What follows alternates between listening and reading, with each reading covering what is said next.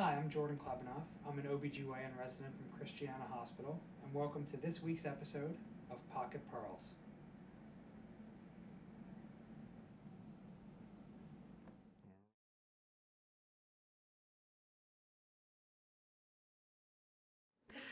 So I'm here today with doctors Beth Leopold and Vicki Greenberg, and this is Pocket Pearls Pondering Prematurity. In March of 2010, ACOG published a committee opinion highlighting three large clinical trials on magnesium sulfate for fetal neuroprotection. There have been several large studies looking at magnesium sulfate to prevent cerebral palsy. The problem is a lot of these studies use their own magnesium protocol.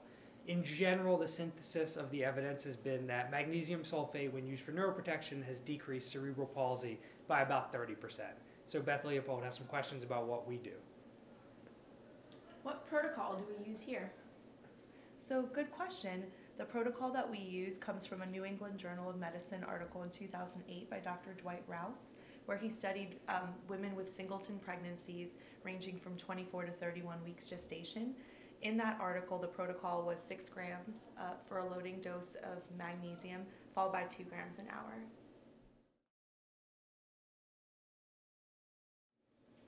What if the women did not deliver immediately?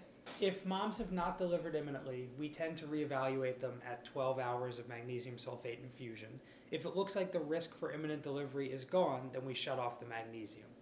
If at a later date they're still at risk for imminent delivery before 32 weeks, we will restart magnesium sulfate. So, if a pregnant patient needs to be restarted on magnesium, do we do the loading dose again? Another great question, Dr. Leopold. If it's been greater than six hours, then you can give a six gram loading dose.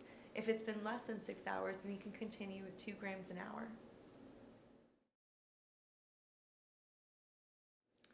Takeaway from today's talks are that when singletons between 24 and 31 completed weeks are at risk for imminent preterm delivery, we use a 6 gram loading dose followed by 2 grams per hour.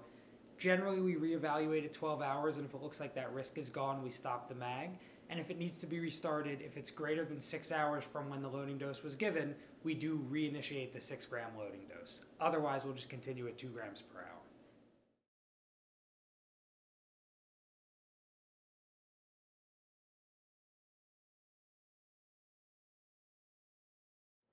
Another great question, Dr. Leopold. Take If it So funny.